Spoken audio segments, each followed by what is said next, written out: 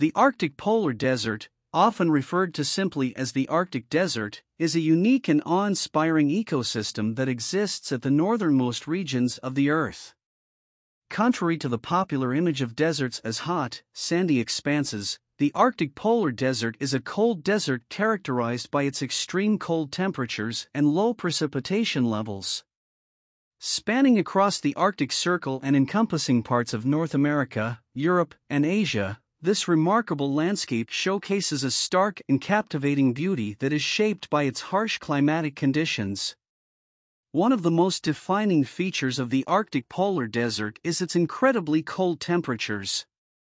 During the winter months, temperatures can plummet well below freezing, and even in the summer, they rarely rise above a few degrees Celsius.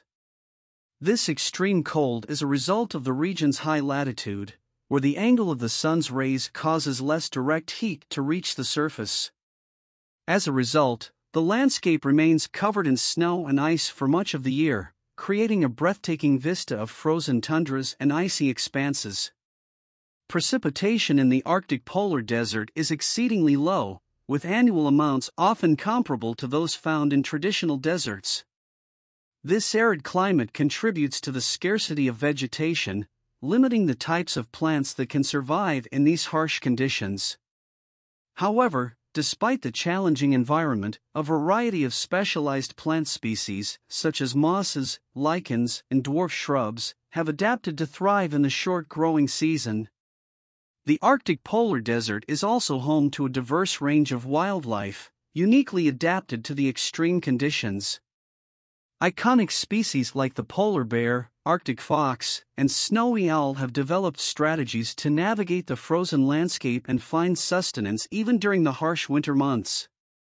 Marine life, too, is abundant in the surrounding seas, with seals, walruses, and whales depending on the nutrient rich waters for survival.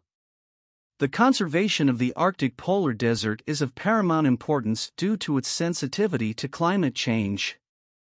The region is experiencing rapid warming, resulting in the shrinking of ice cover and alterations in local ecosystems. The loss of sea ice, in particular, affects the hunting and breeding habits of the animals that rely on it for survival. Preserving this delicate environment requires global cooperation and efforts to mitigate climate change and minimize human impact on this pristine and vital ecosystem.